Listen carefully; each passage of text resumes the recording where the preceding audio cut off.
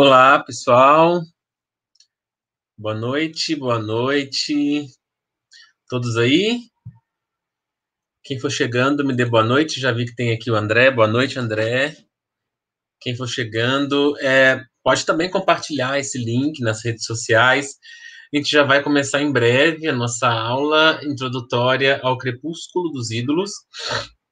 Sempre gosto de conversar esses três, quatro minutinhos iniciais aqui para esperar o pessoal chegar. Então, e para pedir para vocês também, né? É... boa noite, Rafael. Boa noite, André. É para vocês chegarem aqui também. Ah, meu Deus. Henrique chegando também falando que tem aula de cálculo agora. Depois volta para ver um pedacinho e depois ver o começo que você perdeu também. Uh, mas faz favor aí de, de, divulgar nas redes, se vocês quiserem. Se quiser tirar é, foto aqui da, da, tela, divulgar nos stories, marcar o Filosofares também. Pode fazer isso também durante a aula, tá? E para quem está chegando aqui, está querendo conhecer um pouco melhor o curso, um, tem aqui embaixo na descrição do vídeo o link para você ir lá ver o curso, que continua, essa é a primeira aula, essa é a aula aberta, é, mas continua a partir da semana que vem. Salve também, JA. Quem for chegando, me dê boa noite para saber que você está aí. Mais um minutinho, minutinho, dois minutinhos, a gente começa. Deixa eu colocar aqui já a nossa imagem. Salve, salve. Quem for chegando, me dê boa noite. Vamos fazer igual ah, a gente fez na aula do, do, do na segunda. Vou fazer alguns blocos, vou parando, vocês mandam perguntas. Pode, boa noite, Henrique. Pode mandar uh, pergunta durante a explicação, tá? Não tem problema, pode mandar a pergunta aqui durante a explicação, que aí na hora que eu for parar, a gente conversa sobre as perguntas. Não precisa ser só pergunta, tá? Pode ser uh, interação, no geral, pode ser comentário, pode ser discordâncias, pode ser complementações, acho que é sempre bem-vindo, né?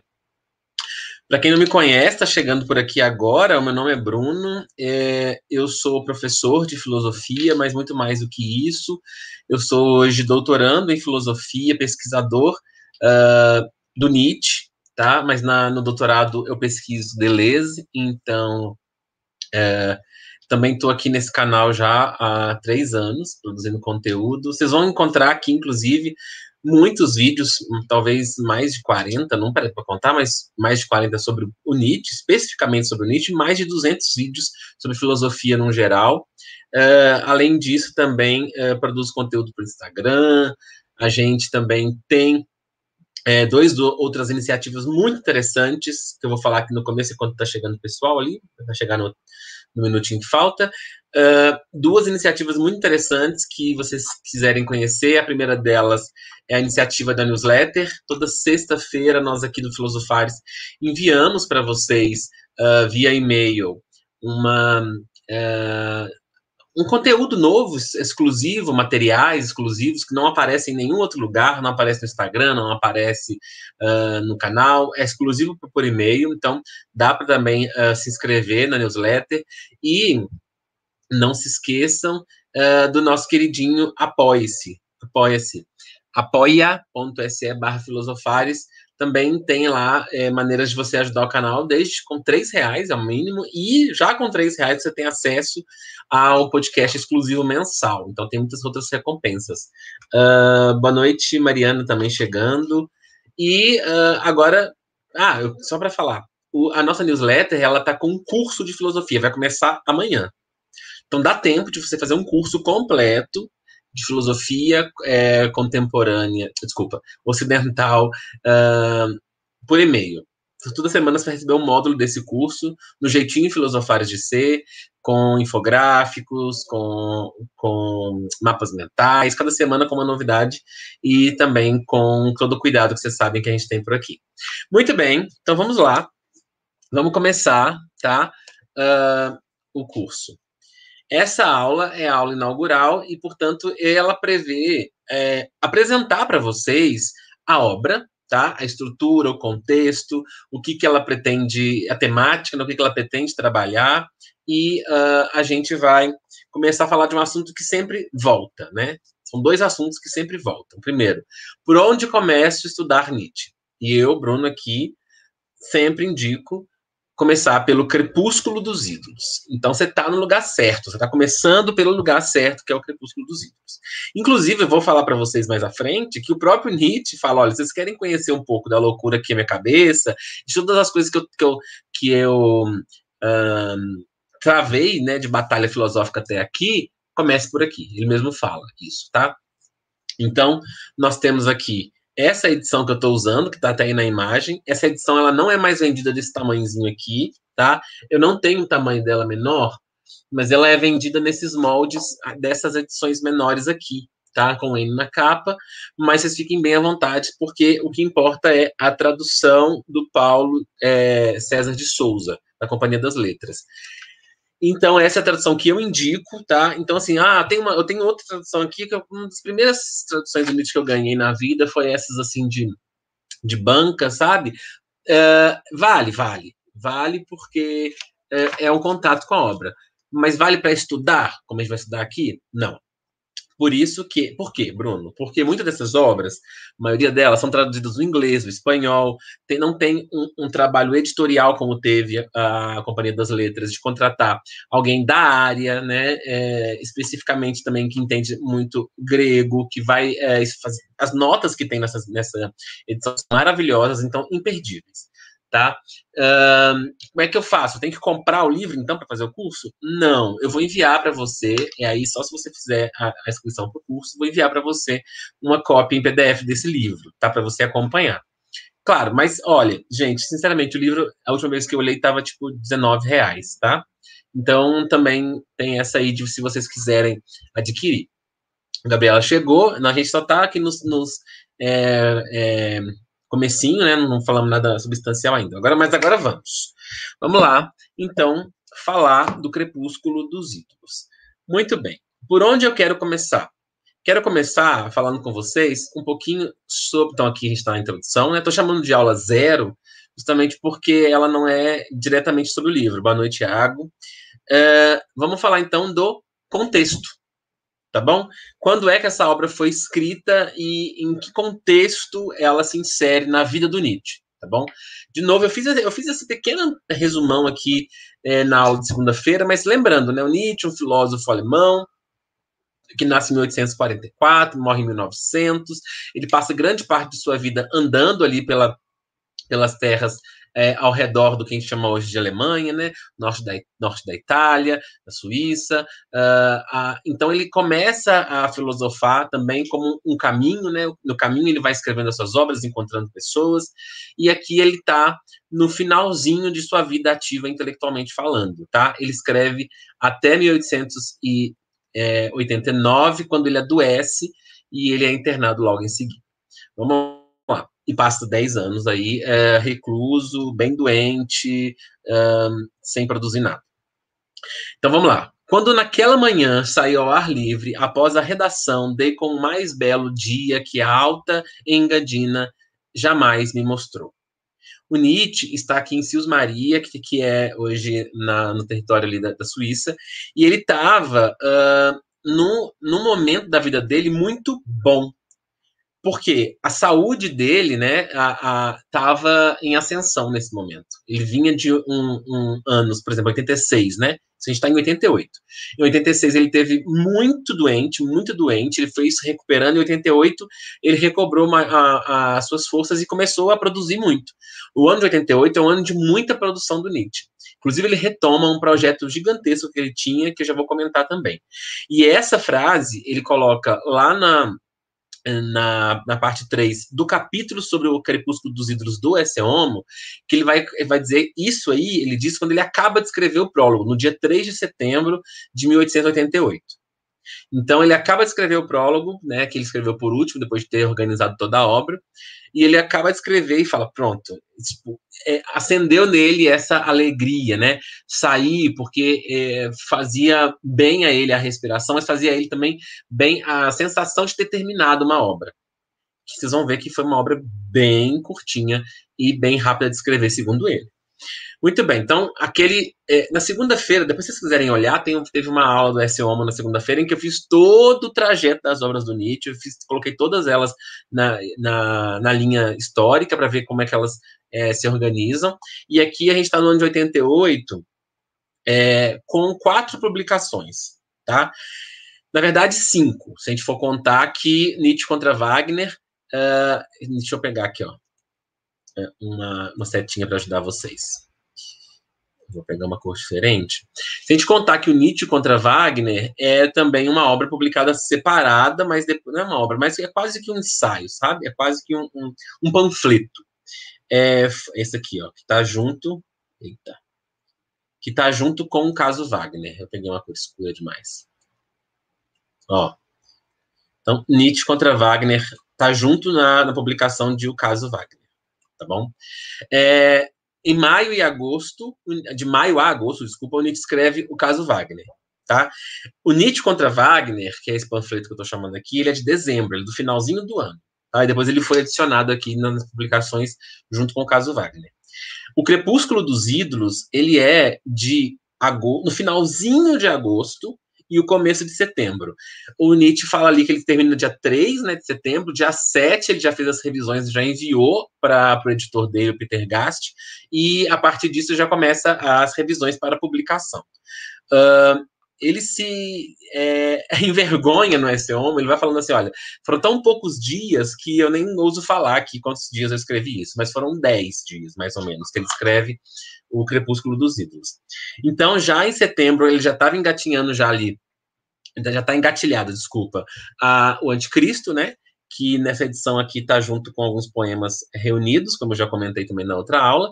Então, esse Anticristo, eu vou explicar melhor sobre ele, tá? Então, vou, vou pular aqui um pouquinho, porque ele tem, ele tem muita ligação direta com o Crepúsculo. E uh, em outubro e novembro ele termina o S. Homo também, que já era uma obra que ele já estava planejando, porque era uma obra que ia fazer parte dessa outra, desse outro projeto dele, que também eu já vou dizer em breve, tá? Então, é importante colocar o Crepúsculo nesse contexto, justamente porque a gente vai perceber, tem aqui a questão do Wagner, tá? Tem aqui a questão da moral cristã, e tem aqui a necessidade do Nietzsche de se mostrar, de se dizer, e mais, né? Nesse, como eu falei na aula do S. Homo, a necessidade do Nietzsche de se posicionar contra os alemães, tá? Enquanto a Alemanha também, enquanto o Reich, enquanto a cultura alemã, tá bom? Uh, e aí, é nesse meio, nesse, nessa bagunça aqui no Nietzsche, né, todo empolgado para escrever, que nasce o Crepúsculo dos Ídolos. Ele é escrito, como eu falei, em poucos dias, tá? Mais ou menos 10, tá? Em agosto, no começo de, de, agosto, ele teve um período de que ele chamou de noites intranquilas, tá? Ele acordava, escrevia pequenas sentenças à noite, e disso, muito dessas sentenças foram para os diários do Nietzsche, que a gente chama de é, hoje é, fragmentos póstumos ou escritos póstumos, que foram organizados em livros, e uh, isso serviu também para ajudar ele a se inspirar para escrever o Crepúsculo tá? Ele planejava, então, nesse período, tá? Usando o contexto aqui ainda. Ele planejava, nesse período, é, retomar um projeto que ele tinha desde 1885, chamado Transvaloração dos Valores.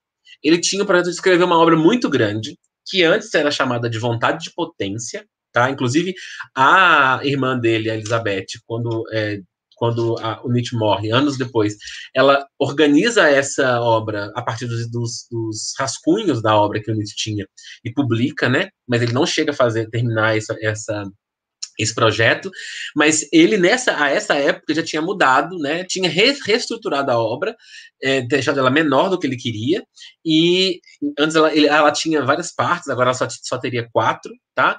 E ele vai começar a chamar essa obra de Transvaloração dos Valores, tá? O anticristo, como eu falei,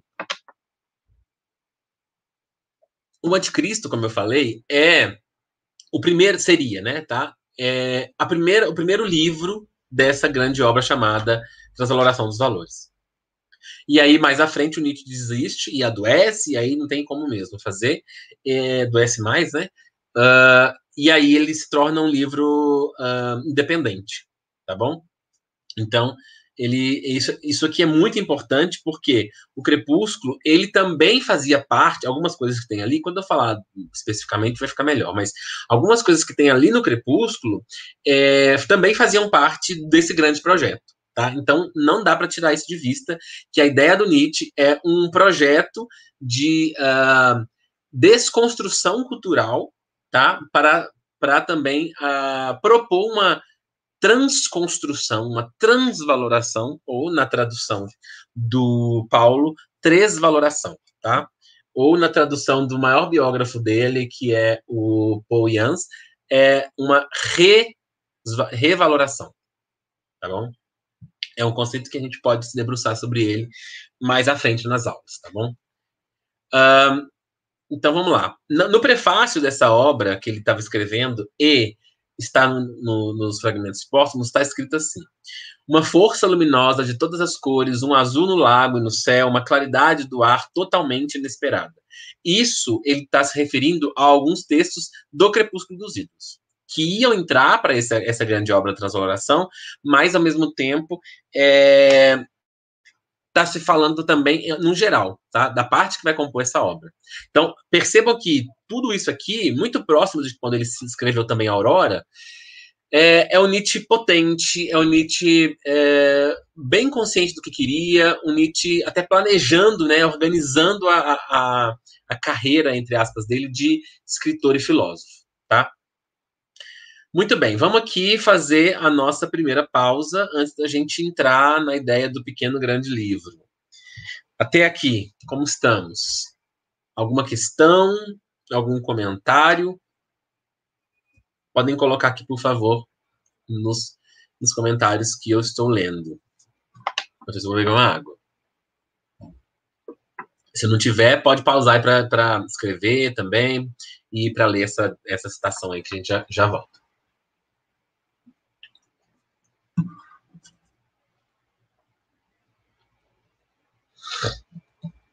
Tudo ok? Então sigamos, né? Parece que sim, tô olhando aqui os comentários, não chegou mais nada.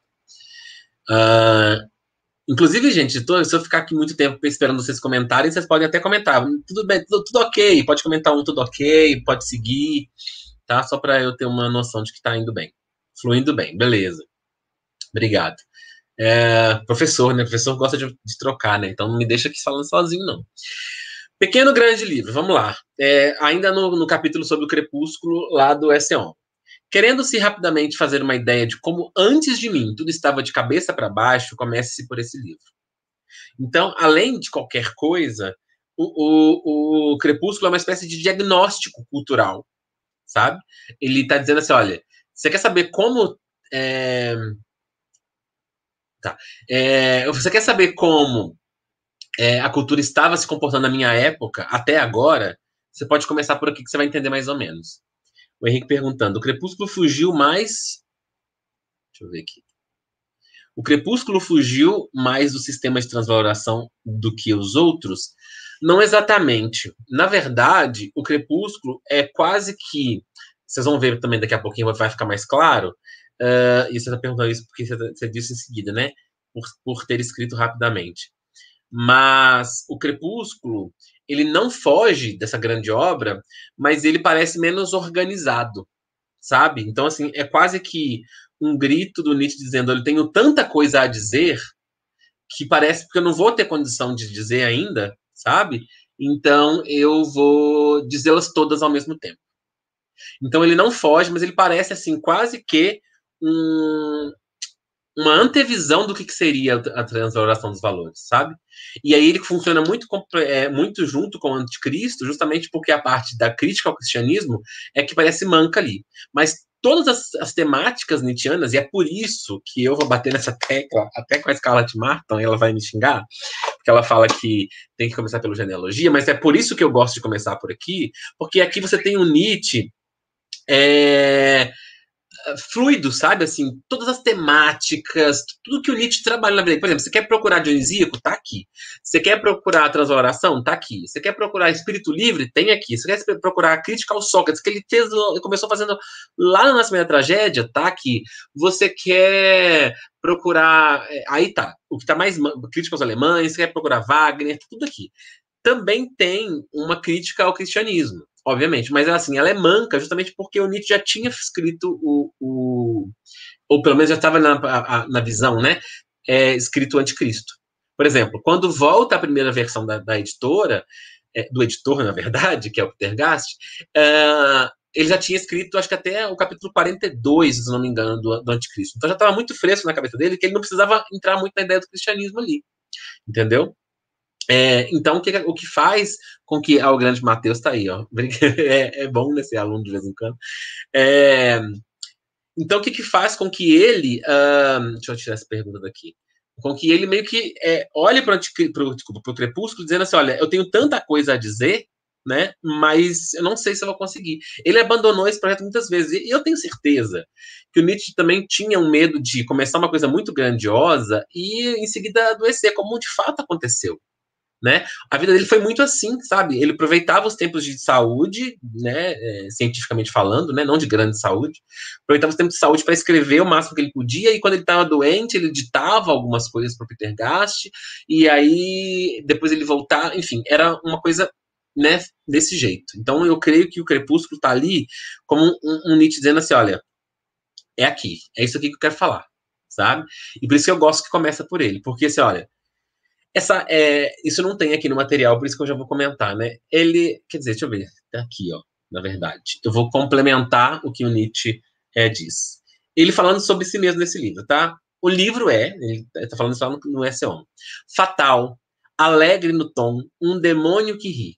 Nada existe de tão substancial, mais independente, mais demolidor, de mais malvado que, que isso significa? Que o Nietzsche, sim, está ciente que ele está sendo muito ácido, sabe? Eu, a imagem que eu gosto de usar do Nietzsche, no geral, mas principalmente nessa obra, é a imagem de uma pedra na máquina sabe? O Nietzsche entra uma, é uma pequena pedra na máquina que vai incomodando, vai incomodando as coisas e por isso também é violento. Ele não, ele não faz aqui em muitos graus, apesar de em algum momento ele fazer isso com Sócrates, uma, uma um ataque direto, sabe, a, a, a coisas e pessoas. Resguardando aqui a ideia, a coisa do Sócrates que eu vou comentar também.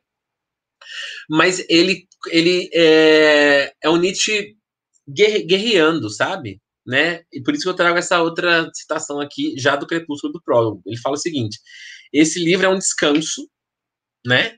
Um borrão torrado de sol, uma escapada para o ócio de um psicólogo, é uma declaração de guerra.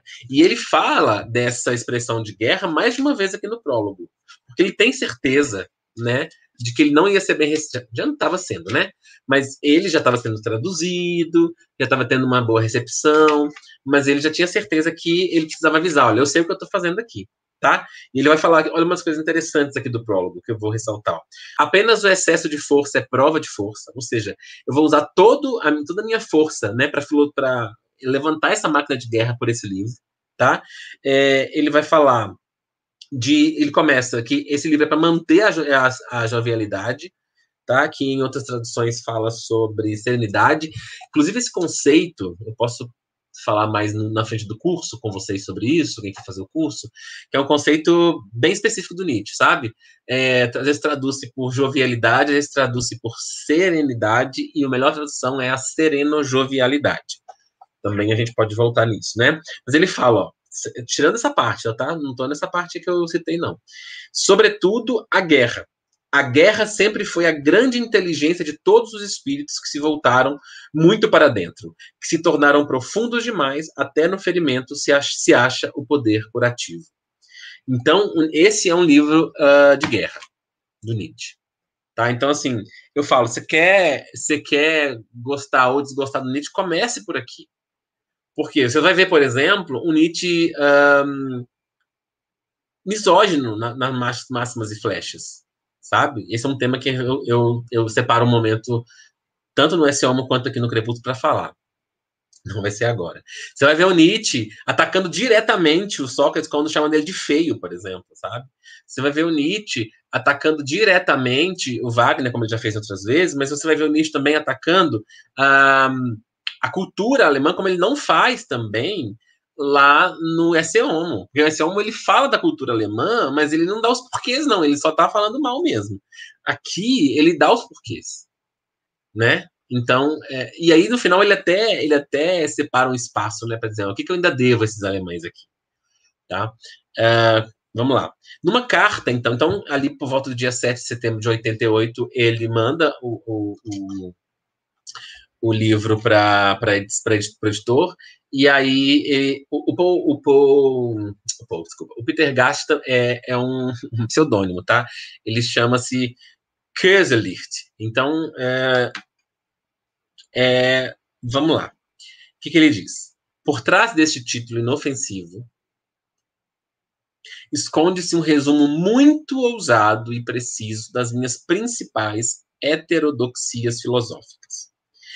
Então, olha aqui, esse livro, gente, é praticamente um resumo da filosofia dele. Então, mais, estou aqui batendo na tecla, né? Por que, que eu gosto de começar por ele?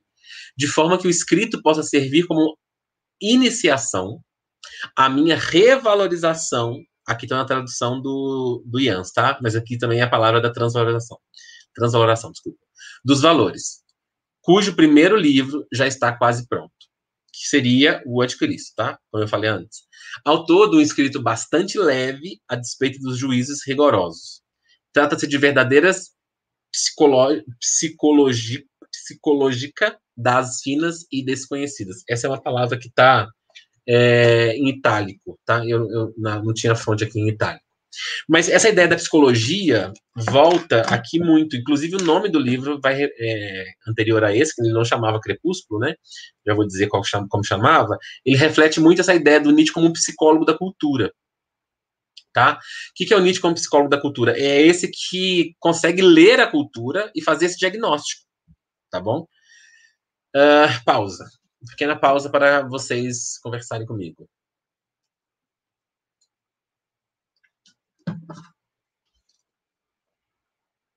Gente, normalmente eu, é, meus alunos, alunos presenciais, alunos em cursos, alunos no geral, me falam que às vezes eu vou empolgando no meio da história e, e falo rápido, embolado. Se isso acontecer, escreve aí, porque aí às vezes eu até perco a, a, a questão de olhar aqui, mas Escreva aí, professor, fala mais devagar, Bruno fala mais devagar, uh, vai com calma, porque não precisa de achar que vai me ofender, não, porque é algo meu mesmo, assim, de ficar empolgado e falar. Mas vamos lá. Tudo bem por aí? Tudo certo? Enquanto vocês estão pensando, leiam aí a frase.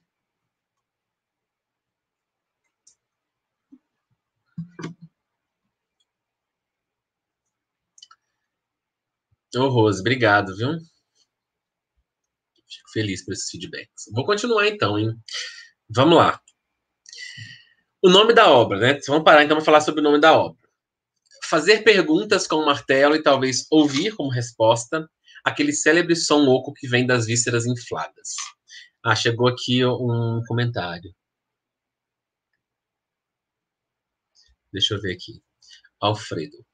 Professor Bruno, é equivocado a afirmação de que nesse texto Nietzsche se limita em uma crítica da modernidade e seus valores, mas sem oferecer algo em substituição? É equivocada, porque o projeto dele era essa transformação dos valores. Ele tinha algo em troca, entende? Uh, obviamente que ele não parou para dizer em outra obra, por exemplo, o que, que ele estava dando em troca. Mas eu acho preguiça, né, de alguns pesquisadores de ler o Nietzsche em outras obras. Ele já tinha respondido isso em outras obras, né? Quer dizer, até aqui mesmo, sabe, para ser justo com Nietzsche, deixa eu só vir aqui ao texto. Até aqui mesmo, quando ele vai falar aqui do Dionisíaco, da embriaguez, ele já oferece. Porque é nessa obra que ele meio que é, reestrutura o conceito dele de Dionisíaco. E aqui ele já oferece um pouco isso, sabe? Então eu acho injusto falar que ele não oferece nada em troca, ou por ser preguiçoso, porque se você for Zaratustra, se você for HS Ciência, já tem muita coisa ali que ele está oferecendo, entre aspas, em troca, né? Mas eu perdi aqui. Ah, não, tá aqui. Mas aqui ele fala sobre essa embriaguez. Então eu acho que é injusto, sabe? Então uh, é isso a resposta. Estou caçando aqui, mas uh, feio, uh, é por aqui sobre a arte. Depois eu volto aqui para a gente não ficar preso, mas vou deixar até marcado aqui que está por ali. Mas é isso. É, muito bem, continuemos aqui. Eu acho que eu respondi, né, Alfredo? Se não, pode escrever mais aí. Um, então vamos lá. Como é que esse livro se chamava antes? Não, primeiro já comentei aqui, né? Ah, tá. Essa questão do martelo eu vou voltar nela, tá? Se precisar, a gente volta até na citação também. Primeiro título, né? A obra se chamava Ociosidade, ou depende da tradução, o ócio de um psicólogo, tá?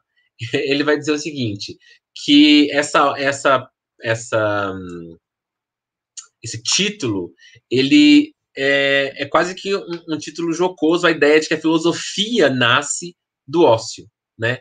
Então, se a filosofia nasce do ócio, então agora vai, vamos ver o que, que vai nascer da, do ócio da psicologia, entendeu? Então, é, é uma outra paródia, né? O Nietzsche faz algumas paródias, o Zaratustra é, é todo paródico, né? Mas aqui também. Vamos lá. Era esse o único nome? Não. Esse é o nome que ele mandou para a editora, tá bom? Eu falei editora, mas sempre pensa em, em editor. É, ele escreve no Fragmentos Póstumos de é, 88, ele escreve pelo menos outros um, dois, três, quatro, cinco, seis outros títulos que são muito parecidos, né? É, uma coisa ou outra, ele vai trocando uma palavra, mas eram esses aqui, ó. Tá? É, então tem dois ali que ele repete, por isso que não estão aqui. Só troca de, de ordem. Martelo para ídolos, ou serenidade é, de um psicólogo. Martelo para ídolos, ou como um psicólogo formula questões. Martelo para ídolos, ou ócio de um psicólogo. E, finalmente, aquele que ficou, e eu vou explicar por quê, Crepúsculo dos ídolos, ou como filosofar com martelo. Mas ele manda com esse livro, com esse título aqui primeiro, tá? Ociosidade de um psicólogo. Um, e aí ele recebe do, do Peter Gass, dia 20 de, de setembro, uma carta, com, devolvendo a obra também, um, dizendo do título, tá? E aí aqui tem um pedacinho. O título Ociosidade de um Psicólogo é, soa-me demasiado modesto. Quando me lembro como ele poderia agir sobre as pessoas comuns, o Senhor dirigiu sua artilharia para as montanhas mais elevadas, o Senhor tem canhões como nunca houve antes e precisa apenas atirar às cegas para aterrorizar os arredores. Um passo de gigante sob o qual as montanhas estremecem nas origens não é mais uh, nenhuma ociosidade. Além disso, na nossa época, ociosidade é costume após o trabalho, e o mi de Misgang aparece também em Midrigkeit, cansaço. Então a palavra cansaço e a palavra uh, ociosidade ou ócio teriam o um mesmo prefixo ali, e aí é, isso incomodou também o Peter Gast, além de dizer, olha, esse livro aqui não tem nada de ocioso, sabe? Isso aqui, tem, isso aqui é de um trabalho, isso é um trabalho. E você não está falando com, com o povo, você está falando, você está atirando muito mais alto que isso. Né? E aí, claro, o Peter Gast ele é esse amigão que fica inflando a, bola do nicho também, né? Uh, e aí ele muda, né? Ele muda para aquela opção do crepúsculo dos ídolos ali. Por que crepúsculo? Tá? Por que, que essa palavra? Tá? Ela está aqui justamente por causa dessa ideia que ele já tinha apresentado em outras obras, principalmente no Gaia Ciência, que é a ideia da morte de Deus. Ele não fala só da morte de Deus, ele fala dos deuses. Tanto, tanto é que ele cita também a morte, por exemplo, de Buda. Né? Quando ele fala da, da sombra de Buda estar nas cavernas, por exemplo. Então ele está falando aqui do ocaso né, de um fim de uma luz dos deuses eternos, né, que nem são eternos mais, porque estão morrendo, estão tão, tão acabando, né? Uh, ele gosta também desse nome, ele fala isso uma das cartas, quando ele vai responder o Peter Gass, ah, então vai ser ótimo, porque além disso eu posso fazer agora uma, uma mais uma troça com Wagner, né? Porque o Wagner tinha uma, uma obra Crepúsculo dos Deuses, então, ele faz aqui esse Crepúsculo dos Ídolos para também rir ali do Wagner. Por isso que eu falo, é um, é um, é um, é livro também irônico, sabe? E ele, essa ideia da, da, do crepúsculo, da queda, do fim, né, uh, também está dentro do conceito que ele trabalha aqui, que é o conceito de decadência. Esse conceito, que está ligado ao conceito, por exemplo, de ressentimento, ao conceito de niilismo, né, esse conceito é importante como uma, uma negação, uma não-luz, um fim, uma, uma, uma visão uh, da escuridão né, chegando. Mas para quem, né? Para os ídolos. E a palavra ídolo aqui, é, ele vai falar lá na, na, no prefácio, no prólogo, que ele vai falar: ídolo aqui é tudo que se dominou até agora como verdade. Tudo que se chamou de verdade é ídolo. Tá? Então, não só ídolos uh, religiosos, por exemplo, ídolos culturais, né? mas tudo. Idealismos filosóficos, ideais tá? metafísicos, morais, religiosos, políticos. Aqui pode colocar uma lista maior ainda, artísticos, que ele fala de arte aqui também, uh, educacionais, ele fala da educação alemã. E também ele vai dividir esses ídolos, tá? Dividir assim, ele fala que existem dois tipos no SE Homo e a gente divide aqui por, por didática, né? Ele vai dividir aqui em ídolos de época, tá? Por exemplo, o Wagner é um ídolo de época que ele fala, e ídolos eternos, por exemplo, o Deus cristão, né, que seria um ídolo eterno. E por que martelo, então? Né, já que a palavra martelo ela está no subtítulo, tá? Por que martelo? Porque o martelo, isso lá na, na naquela citação que começou essa parte, já estava já tava dito, né? Para bater e para escutar aquele oco, né? Dos, dos ídolos, né? Então, esse martelo é para auscultar, aquele mesmo martelo do médico e também o mesmo martelo do artista, né? Que, que bate na obra para também, tipo, tá tão perfeito, né? Conta-se, né, por exemplo, sobre uh, o Moisés de. Uh, não, é sobre Davi, eu acho, de Michelangelo, mas enfim. Bate-se na, na no, no, joelho, né, para dizer, nossa, tá tão perfeito que vai se movimentar, mas será que tem vida aqui dentro mesmo? Esse martelo é para escutar, é para perceber se ele tem vida. Então, pega todos os ídolos e bate, mas não é uma batida de destruição ainda. É uma batida de percepção, tá? Ele vai dizer também que o martelo dele é uma espécie de régua, tá? É uma régua para medir as verdades. E que já quando se fala de medir verdades, a gente fala que tem verdades em tamanhos que podem ser medidas, a gente está falando de verdades que têm tamanhos diferentes. A gente está falando de verdades que têm tamanhos diferentes, a gente não está falando de verdades porque elas não deveriam uh, ter é, diferenças entre si, modificações, se é que há uma única só verdade e só verdade, tá? É, e aí sim, se não há vida, não há vida, então é hora de destruir. É uma destruição, presta atenção, que leva a uma transvaloração, ou como queiram, uma construção. Tá? Destruição também é construção. Eu sempre gosto de, de deixar a ideia, por isso que estou usando muito isso aqui também, dos tijolos aqui, né? Quando você quebra uma parede, você não está só destruindo uma coisa que estava pré é, colocada ali, mas você está instaurando uma nova uh, instalação de tijolos que, que estão caídos, quebrados ou, ou empilhados, enfim. Você está construindo uma outra coisa através da, da arte da destruição. E ele vai dizer, né? Há mais ídolos que realidades no mundo. Muito bem, pausazinha para vocês aí lerem a frase, mandarem perguntas e, e, e colaborações e para eu tomar água.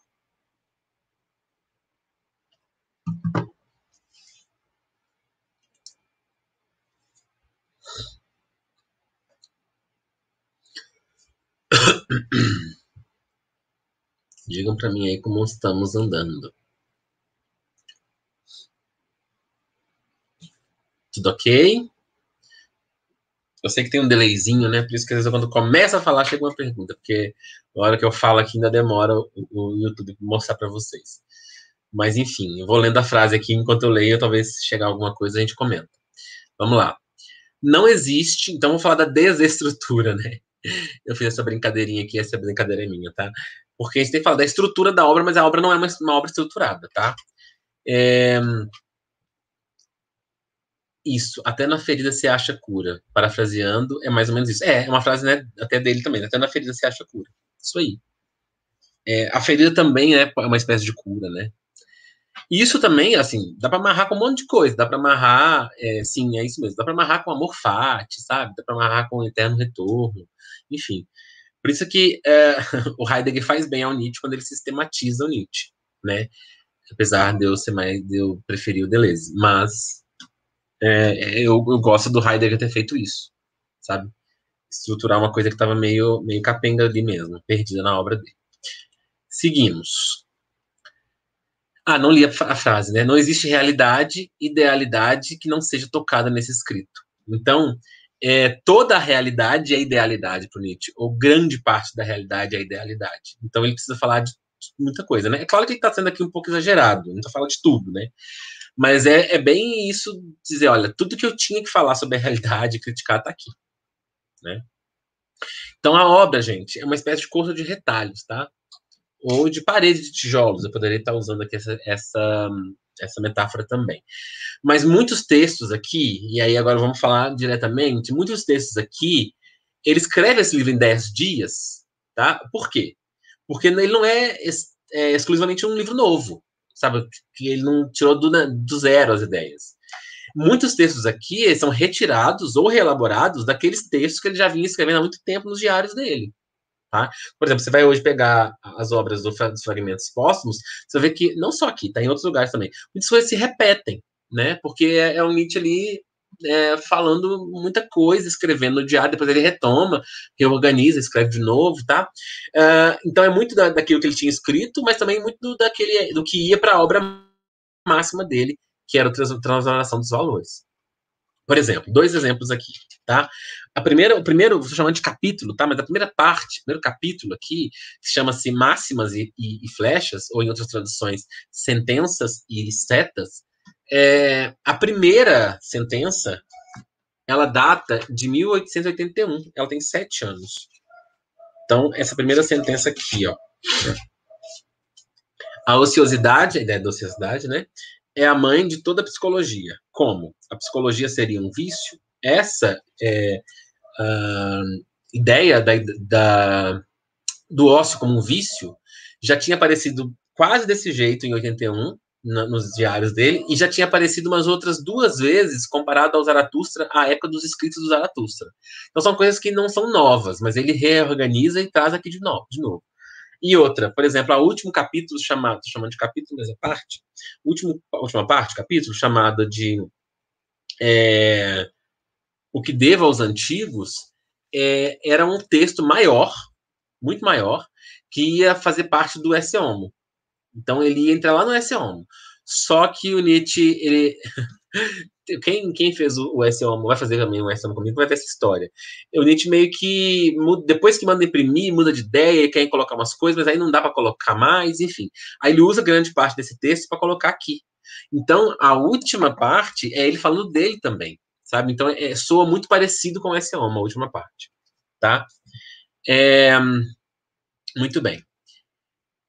Uh, ele, esse livro tem uma forma muito específica, tá? Como eu falei, muitos se encontram nos fragmentos póstumos. A comunicação aqui é de um Nietzsche muito mais despreocupado em explicar coisas, sabe? É um Nietzsche muito mais direto, né? Uma comunicação mais direta, mais maduro, mais tardia, também essa comunicação. E aqui reúne-se muitos dos interlocutores dele, como eu falei. Wagner, os alemães, uh, o cristianismo, com todo, sempre que ele está debatendo com alguém, a maioria deles vai aparecer aqui, tá? Uh, vamos lá, então. Agora uma, um, sobrevoo na obra para a gente ver o que, que, tem aqui, tá? Isso aqui é, é, é, mais ou menos o que se uh, indica ao fazer, de se fazer ao comprar ou começar a ler um livro. Primeiro você vai lá no, no, no índice, ver o que, é que tem, dar uma olhada por dentro, né, as partes, ou seja, um primeiro contato mesmo. Bom, como eu falei, primeira parte, máximas e flechas, essa, essa parte é, são pequenos aforismos, era uma, uma prática muito grande em alguns, muito difundida, desculpa, em alguns escritores alemães, de ter uma, uma parte anterior aos escritos. O que, isso significa? Era, é quase que uma preparação do espírito das pessoas que iam ler para aquilo que ia ser que ia ser lido. Então você vai ali, solta algumas coisas, vê que já dá o tom da obra, sabe? É, e o Nietzsche faz isso não só aqui, faz em outras obras. Desde 82, ele já faz isso ali por volta de Aurora. Sabe? Ele já faz isso de colocar umas máximas no começo para preparar o leitor. Depois ele vem discutir o problema de Sócrates, em que ele vai falar é, diretamente sobre Sócrates, como eu falei, sobre a pessoa dele, mas também sobre a ideia de que o Sócrates institui a, a questão de que consciência é igual a virtude, que é igual à felicidade. Ele trabalha essa questão. Depois ele vai falar sobre a razão na filosofia, quanto que isso fez mal para a filosofia, essa razão socrática, tá? Uh, em seguida, ele vai continuar questionando essa, essa, essa temática uh, da razão como fundamento para uma idealidade filosófica, tá? E aí como que isso acaba construindo um mundo uh, que era verdadeiro, ele se transforma numa fábula. Depois ele vai discutir isso no campo da moral, tá? Parece que, olha, esses primeiros capítulos eles têm uma espécie de continuidade, mas não se, não se iluda, porque isso vai ser quebrado. Uh, uma moral como antinatureza, ou seja, como algo oposta à natureza Uh, e, e, a natureza que não natureza no sentido de essência, mas no sentido de do que está aqui e agora, sabe? Uh, depois ele vai falar também dos quatro grandes erros da construção lógica, da, de todo pensamento ocidental. Inclusive, eu tenho um vídeo específico sobre isso no canal, depois vocês quiserem dar uma olhada. E eu acabei de publicar. Ah, isso foi legal. Eu acabei de publicar no Instagram um, um pequeno resumo do resumo desse capítulo, tá? Tá lá no carrossel lá, depois você dá uma olhada no Instagram. Então tem uma coisa bem interessante lá. Uh, sete, os melhoradores da humanidade, né? E aí ele vai criticar não só a filosofia, mas a religião, ele vai criticar também a política, tá? Uh, a arte romântica. Depois ele vai falar o que falta aos alemães, é uma crítica direta à cultura alemã. Uh, depois, pensamentos mais soltos. Tá vendo como é que o negócio vai perdendo assim a continuidade? Essas incursões de um dia contemporâneo são aforismos maiores, outros menores, alguns são continuidade, por exemplo, ele vai falar da arte, da psicologia, e da psicologia ele faz, né? E depois ele. essas máximas. É, e depois ele fala esse, esse capítulo mais autobiográfico mesmo, que se comunica muito com esse homem o, o, André está falando aqui que essas máximas, na verdade, atrapalham o leitor. Às vezes eu acho também. Eu acho que atrapalha, mas eu acho que acaba uh, afastando, né, de alguma maneira. Também acho que depende, por exemplo, aqui tem umas quatro ou cinco, quatro ou cinco frases sobre, sobre a mulher, assim, que né, você fala, pô, não vou ler esse cara não, esse cara tá doido. Bom, eu acho muito interessante, trouxe uma curiosidade aqui, ó, tá aqui no cantinho quase escondida, que eu quero. Cadê o meu anticristo? Tá aqui. Que eu quero é, mostrar para vocês. O prólogo do S.O.M., por isso que esses livros, e aqui, ó, é, fica aí é, uma espécie de. É uma chama spoiler, né? Quem sabe ali no segundo semestre a gente não estuda o anticristo, tá? Só se vocês engajarem bastante aí o curso. Mas enfim, aqui, ó, no, no prólogo, ele termina assim, ó. Uh, Turim, em 30 de setembro de 1888, dia em que foi terminado o primeiro livro da transvaloração de todos os valores. Tá? E aqui, ó, no final do Anticristo, uh, só um segundo que eu perdi a marcação tem um capítulo, sei lá, uma sessão, essas coisas, é, definir essas coisas é muito difícil, né? Mas chega, chama-se Lei contra o Cristianismo, proclamada no dia da salvação, dia 1 do ano 1. Então, e o Nietzsche termina assim, ó. É, 30 de setembro de 1888, da contagem errada. É muito engraçado que ele está dizendo, olha, a gente está contando tempo a partir do cristianismo, né? essa contagem está errada. Quem é que falou que o, tempo ele se conta a partir do nascimento de Cristo? Ele ainda, ainda vai brincar aqui mais à frente, né? Isso eu estou falando do anticristo, tá? Se fosse contar, que se contasse pela morte, então. Entendeu? E aqui ele fala um, uh, disso, porque foi mais ou menos no mesmo dia, tá? Um, muito bem. Agora, não estou terminando, tá? Porque ainda vou falar umas coisas aqui da próxima aula. Mas eu fiz essa brincadeirinha aqui do adeus, né? Porque ele vai dar esse adeus, mas é um adeus à velha verdade. Sabe? Adeus. Esse livro é um grande adeus à velha verdade. pausa para perguntas e comentários antes de eu falar o que, vem na próxima aula e uh, indicar até algumas coisas para vocês aqui de leitura. Uh, deixa eu ver. Alfredo. Ela define o caráter sistemático de Nietzsche. Sim, ela é muito boa. Quando eu falo que essa obra ela serve para apresentar o leitor ao Nietzsche, ela serve de um monte de jeito, sabe? Tipo assim, ele é esse, esse cara do estilo, sabe? Ele é esse cara de começar a falar uma coisa e pular outra coisa. Ele é esse cara sarcástico em alguns momentos, né? Irônico. É, ele é esse cara uh, ácido, que guerreia, que vai direto na, na, na jugular mesmo de algumas coisas. Uh, muito bem, Anticristo está aí na, na fila, né? É, são os grandes livros de 88, né? Digam para mim aí se ficou alguma coisa. Enquanto isso, eu vou uh, comentar aqui com vocês, então. Podem mandar perguntas, tá? Não estou terminando, não. Uh, na próxima aula, então, nós vamos falar sobre as 30 primeiras páginas e termina, é, para quem está com a edição menor, viu, gente? Então, você tá aqui, já comprou o curso, você está aqui, ó. É até é, a, o capítulo 3, A Razão na Filosofia. Tá? Eu não sei que Se alguém está com, com o livro menorzinho aí, pode me dizer, por favor. Acho que a, a, a Gabi tá, né? Como, quando é, qual é a última página do capítulo A Razão na Filosofia do livro menorzinho? Aqui na minha é a página 30, desse livro azul aqui. Então, algumas, algumas das questões que a gente vai trabalhar na próxima aula, sabe? Essa questão da misoginia, eu vou comentar rapidamente tá? Porque aparece muito nas, nas, primeiras frases. A gente vai falar qual que é exatamente o que ele chama de problema de Sócrates e como é que isso se, se desdobra na filosofia, tá? E porque aqui é uma questão ótima também, por que não existe mundo aparente? Porque muitas pessoas falam assim, não, o Nietzsche acabou com, com na, na filosofia dele, ele acaba com o um mundo uh, metafísico, né? Com esse outro, e só sobra o um mundo aparente. Ele diz, não, não existe mundo aparente também. Tá? E eu vou explicar isso na próxima aula. E o tema da próxima aula é Sócrates e a razão na filosofia, que vai é, ficar aqui. Uh, quem está interessado uh, em tirar dúvidas, pode usar esse espaço. Quem já comprou o curso sabe que tem um grupo no Telegram que, se quiser entrar, pode entrar. É um lugar de discussão semanal, pode mandar pergunta por lá. Não achou como é que faz para entrar nesse grupo? Olha no seu e-mail, se você já fez inscrição para o curso. Tá lá no seu e-mail todas as indicações. Uh, o PDF dessa aula está no hum, Drive já, né? Extra, esse material aqui, com mais um artigo e uh, eu não coloquei ainda, mas vou colocar assim que eu acabar aqui, porque eu esqueci. E ainda vou colocar lá também o PDF do livro, que eu disse que eu ia indicar. Então, quem comprou o curso tem acesso a tudo isso. E um, é isso. É isso. É, se inscreva na newsletter para começar o curso de filosofia por e-mail começa amanhã. Uh, dá uma olhadinha no apoia.se barra filosofares. Considere apoiar o nosso canal, nem que seja com três reais, que ajuda muito o nosso trabalho aqui.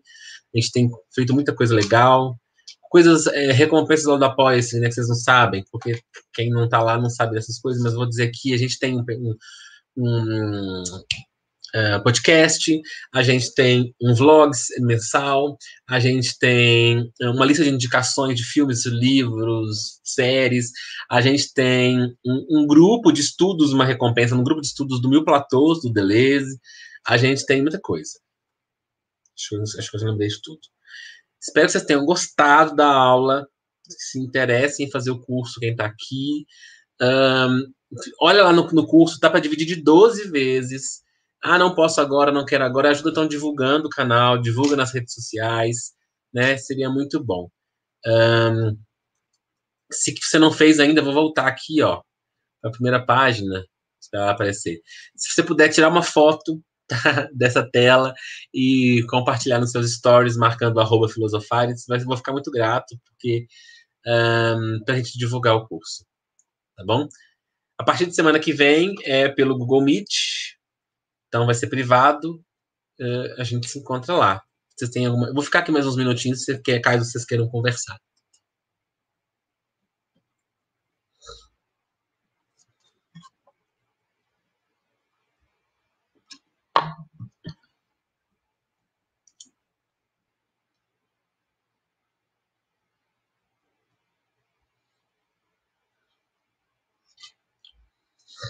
E se caso você não tenha pergunta, se você for embora, pode me deixar um tchau aqui também nos comentários.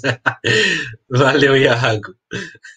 Só pra saber que você tá indo embora, não um tchau aqui. Eu, eu gosto de me sentir em sala de aula, sabe? Eu gosto. Apesar desse ambiente ser um pouco hostil, né? Mas eu gosto de me sentir comunicando com vocês. Muito bem. Obrigado, André. Que bom que vocês gostaram. E aí, assim, ah, eu sou obrigado a ler o livro fazer o curso. Não, ninguém é obrigado a nada. Eu vou passar um resumão toda a aula, discutir, tirar dúvidas e tal, toda a aula. Mas, poxa, né? Olha a oportunidade de você ler o livro do Nietzsche aos poucos, sem pressa, devagar comigo, explicando. Então, maravilhoso, né? Assim, é, queria tanto que isso acontecesse comigo quando eu comecei a estudar o Nietzsche e foi só na cabeçada mesmo. Tem questões, gente? Manda pergunta aí. Tudo bem? Ou vocês estão fervendo a cabeça ainda, assim, tipo, o ah, que, que, tá, que, que acabou de acontecer aqui?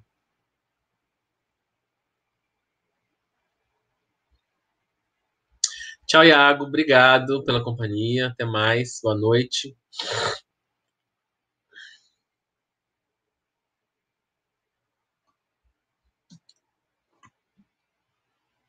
Então, acho que é isso, né? Vocês estão aí pensando. Eu vou agradecer a presença de vocês, então, uh, muito obrigado pela confiança quem está aí comprando o curso, muito obrigado pela confiança quem veio ver a aula aberta, e até semana que vem na nossa aula lá, número 1 um, oficialmente, né? Essa é a chamando de zero. Uh, qualquer dúvida, estou lá no Telegram, tá bom? E nas redes sociais todas que eu uso aí, nos, nos directs da vida. Um abraço, gente. Obrigado. Dá uma olhada em todos os links aqui. Eu vou insistir nisso. E até a próxima. Tchau.